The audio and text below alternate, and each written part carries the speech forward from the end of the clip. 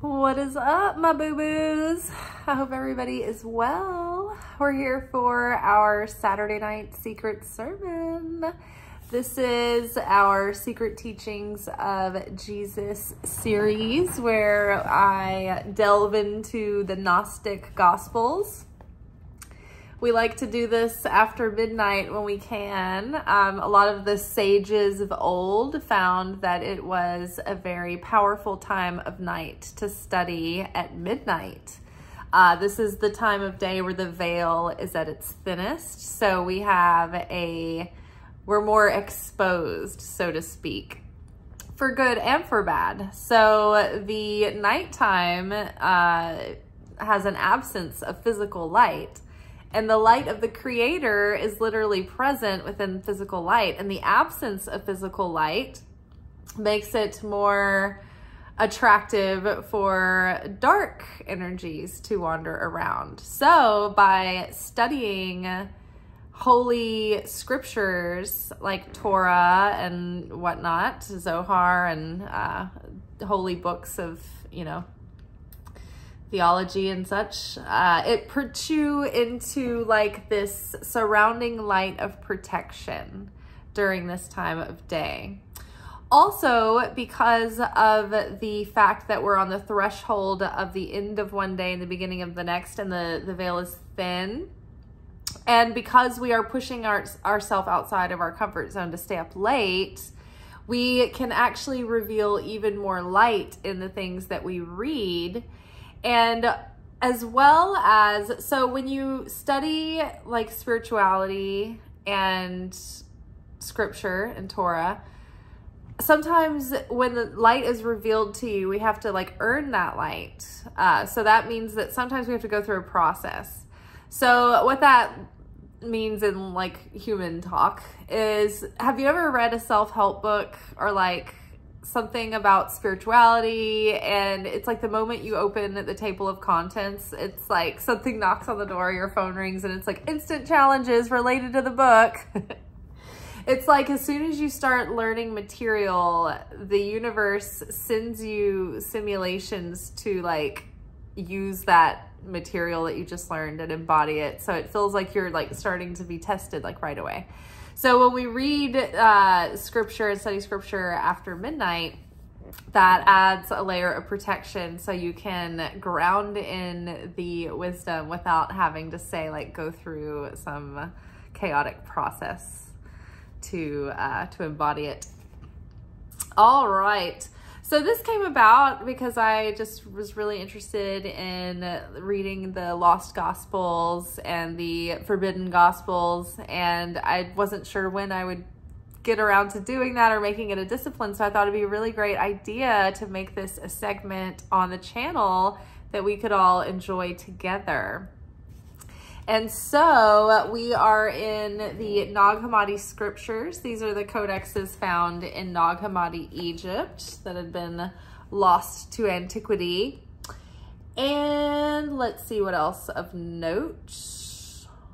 At the beginning, if you go to my channel, Light Love Magick, and you go ahead and subscribe, uh, you will find the Secret Teachings of Jesus playlist. And if you scroll back to the beginning, you will find videos from the Secret Book of James, which was very fun. It was very like dialogue driven, scene oriented.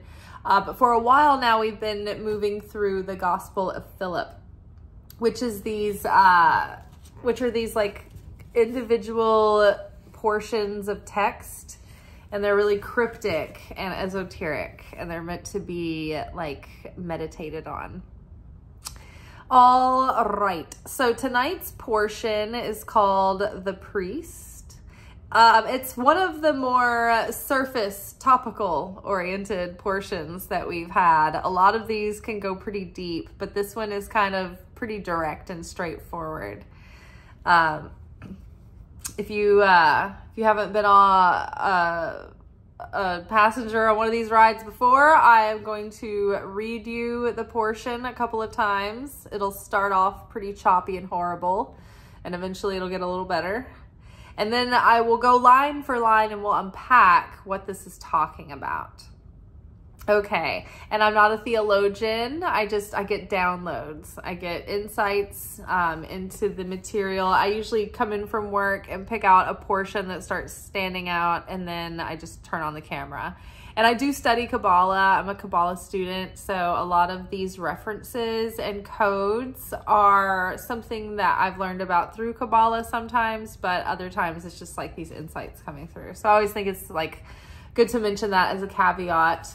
Um, some of you are returning viewers and some of you might be new. So it's good to give you a little context before we just jump in. But now we're going to jump in. So hold on to your seats. All right. So this portion is called the priest. The holy person is completely holy, including the person's body. The holy person who takes up bread consecrates it and does the same with the cup or anything else the person takes up and consecrates. So how wouldn't the person consecrate the body also? Okay, so let's go back. The holy person, and there's a footnote here, and it says that it's uh, or the priest. So the the holy person or the priest is completely holy, including the person's body.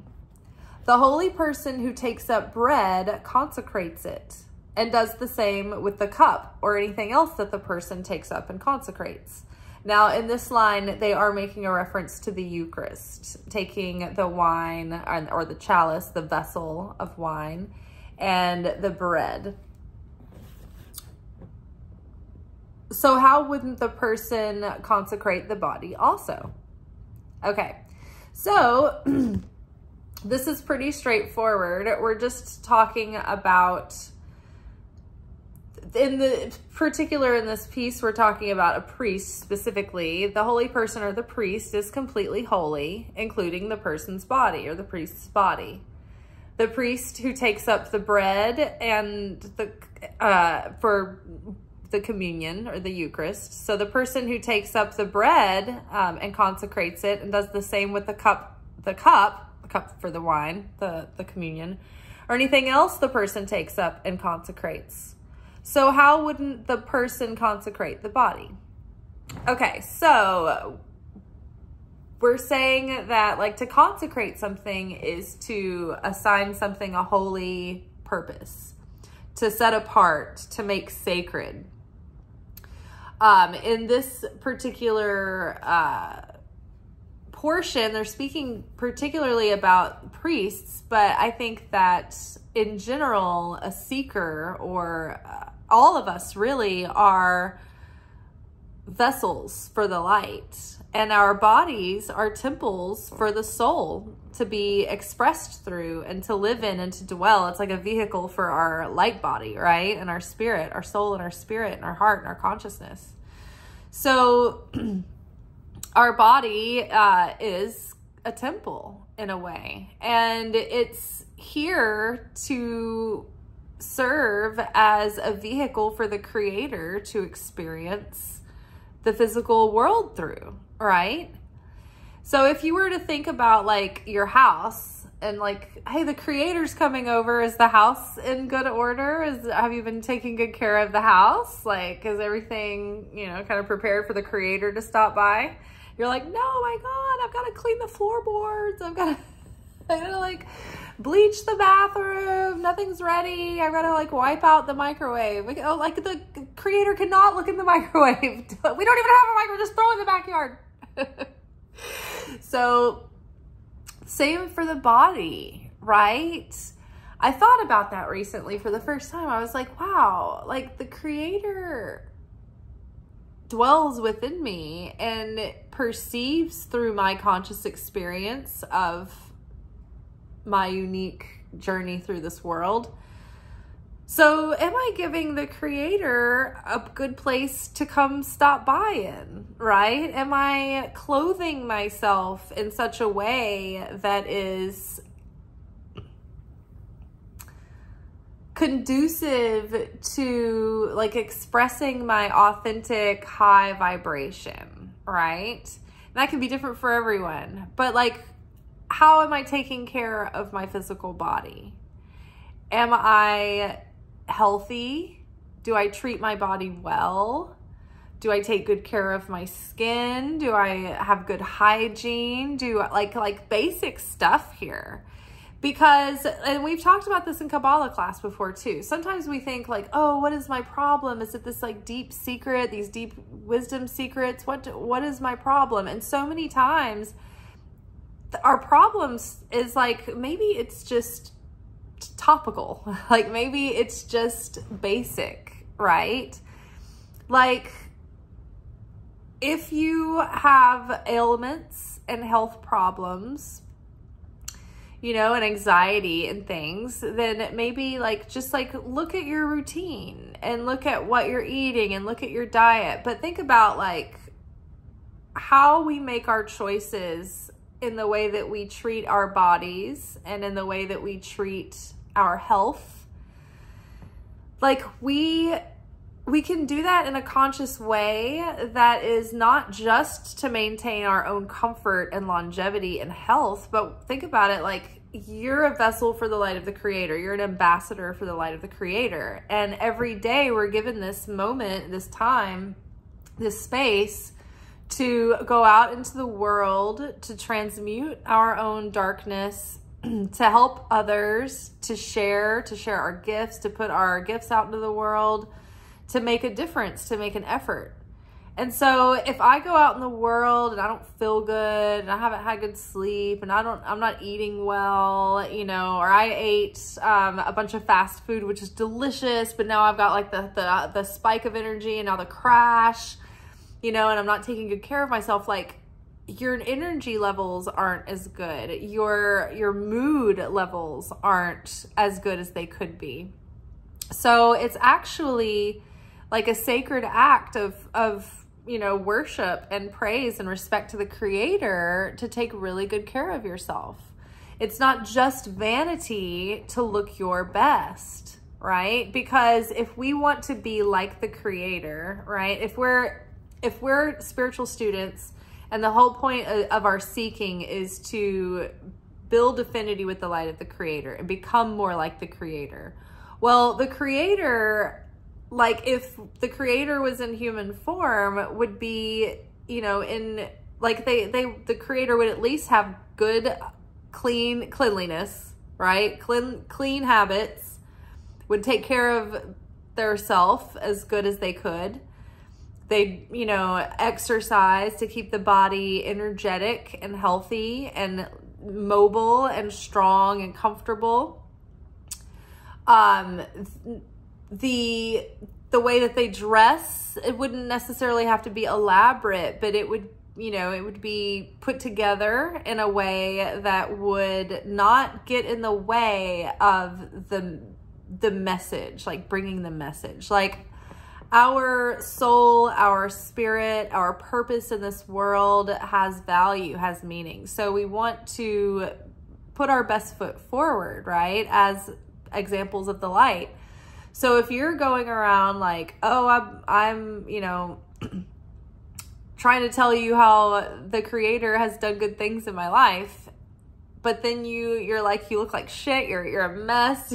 you feel like crap. You know, you're, you're like eating poorly. So you're all broken out. Like, I don't know. You're just like, depressed because of the the chemicals of the factory created foods and you're not like sleeping well and you're not like getting good exercise. So you're you know your your willpower your drive is low. You're just like oh you know it's not going to be compelling right? But when i I noticed something interesting. It was like I was watching like live streaming um, Rosh Hashanah and Yom Kippur through the Kabbalah Center and I couldn't help but notice like how good looking everybody was. like just like well taken care of. Like everybody was like it's not like everybody was perfect or anything, but it's just like you could tell everybody had made made an effort to look nice and to take care of their health and to like, you know, be a good vessel. Like take like cherish their vessel. We are sacred vessels. And so it's we only get one body while we're here. So it's important that we treat it with respect. And so, you know, I love you know, eating poorly and junk food and pizza and all that stuff too, and candy. But it's like you've got to get a good balance, right? So I normally I don't eat a lot of junk food at home. I cook from whole ingredients and I don't I'm not really strict with my diet. Like I eat a really rich diet, but I just don't eat a lot of like fake foods and chemical preservatives and things like that. Don't eat a lot of fast food. So I pick my my splurges but I feel so good most of the time. And I have really good energy levels and I have very good health and I don't have a lot of like ailments and I hardly ever get sick. And I would attribute a lot of that to the fact that like I, I eat a good diet. I try to drink water for the most part if you know if I'm not drinking coffee or like hot herbal tea and I ex- I get good exercise. I like to take long walks in nature. I like to get cardio. I like to do like body resistance strength training. So like I do think that that does contribute and I I feel good most of the time. Like when I come home from work and I think, oh, I, I want to be, I want to have bad willpower and not do secret teachings of Jesus after working uh, a shift at work and it's midnight or after, and then I did all the stuff that you do during the day before work, I'm like, oh, but I feel great. I have good energy levels. I, you know, get good enough sleep and I take care of myself in such a way that I can have the energy to show up, right? So I treated myself sacred, treated the body sacred. Um, the same with sex, sexual contact, sexual contact with people. I so it turned into like some kind of like English professor. So with sex, we are getting soul residue on us when we have sex with people. And unfortunately, it can even start with like kissing because you're swapping the breath of the soul back and forth. Now, this might sound fine and okay, except when you get their soul residue, when you like unite with someone in sex, you take on their tikkun. Like maybe not the whole thing, but like you get residue of the karma that they have to work off. So it may not manifest in exactly the way that it does for them, but it may mean like more chaos of your own particular brand that you've got to work off. So like Tikkun, if you're not familiar, is like our souls travel with us life after life. So in every different life, we've got these soul contracts to work out and these plans that we agreed upon before we um, incarnated on earth and it's like we've got to live through these certain scenarios and, and situations and experiences. And we have certain people that come in and out of our lives. And we have specific parents and we're born in a specific place. And we have specific wounds and things that trigger the weaknesses within our soul that we need to balance out or strengthen or correct. Um, as well as a cosmic scale like the one you see behind me where our positive and negative deeds are weighed over the course of our lifetimes. And so as we go through intense like pain, struggle, mild chaos, like, oh my gosh, like I got a parking ticket and then I, I ran over something, so I got a leak in my tire. And you know, those like little things that just add up to like a bad day or like some crazy stuff that just starts going on. Maybe it gets more serious than that. Maybe it's like a car wreck or, you know, oh, a chronic illness or what have you. But these uh, illness, pain, unpleasantness, um, chaos, these things help us work off the negative side of our scale and transmute that into light. So when we talk about experiencing judgment or chaos, it's related to this, this. So, um, so where were we? We were talking about, oh, doing tikkun, right? So we were talking about being really mindful and intentional about like sex because when you have sex with someone, your souls are joined and so then you're left with their soul residue and you get their tikkun And so your tikkun is like, you know, it's strengths and weakness, uh, strengths and, and talents, but it's also like the weaknesses and the things that you struggle with. It's like your temper and your, your, uh, like your drinking problem, like the, the things that you have that like you struggle with. Um, maybe like generational curses piled in, um, things in your personality that could use like finesse you know, these are tikkun issues. And so if you're sleeping with people, then you're taking on their tikkun issues. If you're like, man, I've had to go through a lot of just BS lately. I don't know why. Or like, have you ever dated someone who turned out to be like a narcissist or something and they were maybe negative and then you started making less money or like you had money problems or something afterwards. Like it's weird. It seems unrelated but it, it might be actually exactly related. So it's important that we treat our body as something sacred right? Sacred uh, and holy. Because not only is it a temple for our own soul and our own spirit but we are like hosts for God too. And so it's like, are you giving God a good experience to have through you? You know, um, are you treating yourself with respect and dignity? But also, are you making choices that are going to help you be the best vessel that you can be for the light that day? Right. Are you making choices that are going to respect your vessel and give you energy? And give you, you know, the the motivation and what you need to continue to share and to show up and do your purpose and do your your good works in the world.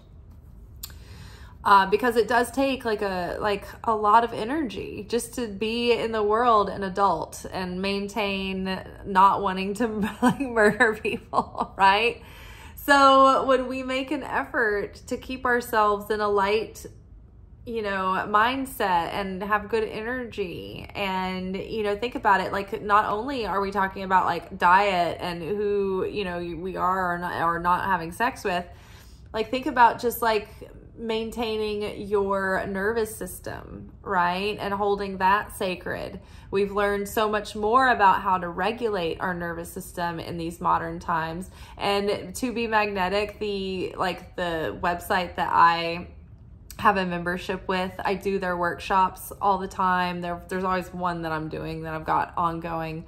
That in tandem with Kabbalah. Those are like two things that like I cannot live without nowadays. But the to be magnetic work is particularly oriented around like regulating the nervous system and rewriting your subconscious and manifesting and doing the psychological work um, in, in a very like at your own pace kind of way, but then it actually ends up being like really um, almost faster than you would arrive at like epiphanies in therapy, I would say. Um, but yeah, regulating your nervous system, right? If you're in a low level trauma response, then you can get snippy. You can get short with people. I know. I've lived in a low level trauma response for apparently most of my life until I realized over the last year or two like how to like that I have an unregulated nervous system and how to regulate it.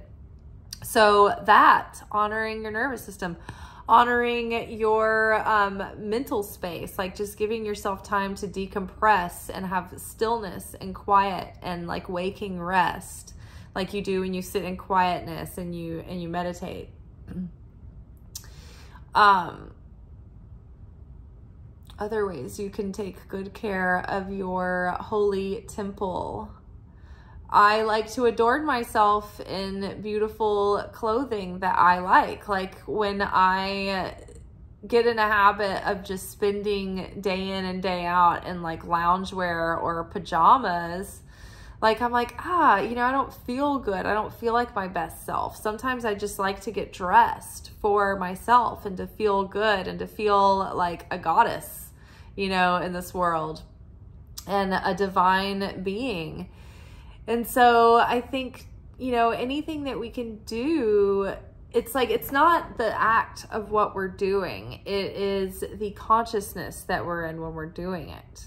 Um, you can i okay so in the morning i like to say the morning wake up prayer uh, before I get out of bed, which is oh, it's on my phone, so I can't, I can't remember it, but it's like blessed are you, Creator, um, or like it's it's it's thanking the Creator for the mercy of restoring my soul, but I can't remember the exact words. I I, read it in Hebrew and then I say it when I wake up.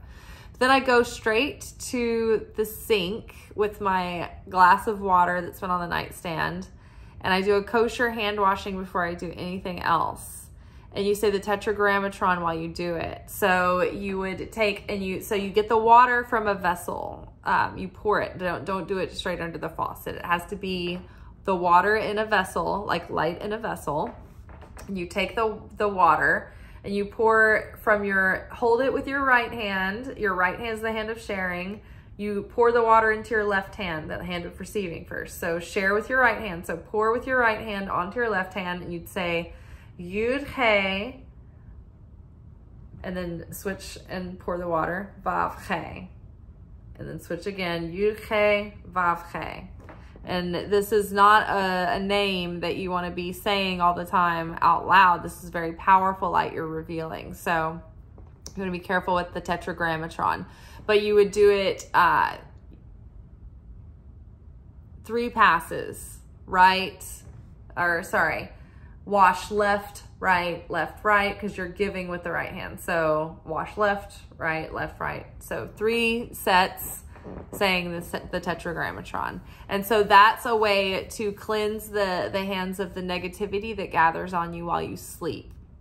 There are, there's negative energy that gathers around you in your sleep because when we are asleep, we're going through like this miniature version of death where most of our soul ascends to the upper realm, which leaves us vulnerable, which is why we have this instinct that we don't want to like put our foot out from under the cover at night because we're like, there's demons waiting to get me. It's true, there are. and then and the blankets really do help. It's like in Kabbalah they teach to to sleep with like clothes on. Don't sleep naked because it protects you from the dark, dark entities. Okay, so let's read the portion again. The priest. The holy person, or the priest, is completely holy, including the person's body. The holy person who takes up bread consecrates it and does the same with the cup or anything else the person takes up and consecrates. So they're saying that like if you're going to take communion, right? It's not just a cup and a bread. You know, if you only have like a random cup and random bread, then you're going to set an intention on this cup and bread. You're going to say a prayer and bless it or anoint it or set aside and set the intention to make it sacred, right? But when you're when you're taking the Eucharist, you have like a vessel, a goblet of wine, and you have a loaf of bread, probably the challah. And you take up that bread and you and you set it aside, you make it holy, you pray over it, you bless it, um, you infuse it with light as you're saying the prayer before you eat it, and that consecrates it and makes it holy. So the holy person is completely holy, including the person's body. The holy person who takes up bread consecrates it and does the same with the cup or anything else the person takes up and consecrates. So how wouldn't the person consecrate the body also? So it's like when we receive Christ into our heart or we activate the Christ in our heart, it is as if in that moment we have prayed and anointed ourselves with the spirit that makes us a holy person, that makes us a sacred vessel, right? So remember that, that you are a temple. And so if you're not a health nut, you don't have to be a health nut, but if you are very lax with your health, I would take a an inventory of what you're drinking, what you're eating, what you're putting into your body are you do you sleep well like do you give yourself quality rest good good deep sleep to refresh yourself like when you sleep and your soul goes to the upper realms your soul is actually being cleansed and that is very renewing to your body and your energy. That's another reason why if you don't get good sleep then you wake up in a bad mood because you didn't get to cleanse all that negativity from the day before. So yes, think about what you're taking in, you know, to your body, how you're treating your body, uh, um, are you maintaining your body, keeping it mobile, flexible, strong? And who are you taking into your body, right? Or who are you going into? Because that person's who they are on the inside and who they are in their secret, most secretive places, they don't even know who they are. Like that is going to be rubbing off on you. So I, would think twice before um, hooking up with another stranger. Like you'll never think of it the same way again. You'll be like, I don't know what this person has to work off in their tikkun. Oh my gosh, we all have these different varieties of these issues, right? And it's so funny too because if you're like, what is my tikkun? You get a lot, lot of insight into your tikkun by looking at your astrological natal chart, like your main um, sign, like your sun, moon, rising will tell you a lot because each of the signs, each of the zodiac signs have their own tikkun. They have their own strengths and they ha each have their own weaknesses or things they struggle with. So that's kind of how you know. I can't remember which Kabbalah class we learned that in but I've got to go back through my notes and find out. But like you can go sign by sign. And I think it's in the book of formations, which was written by Father Abraham, um, Abraham who had many sons. I think it's in the Sefer Yetzirah is the name of the book, the book of formations. Um, all right, so let's read this one more time and then we're out. The priest. The holy person is completely holy, including the person's body. The holy person who takes up bread consecrates it and does the same with the cup or anything else the person takes up and consecrates. So how wouldn't the person consecrate the body also? Oh, back to hygiene. Y'all floss your teeth.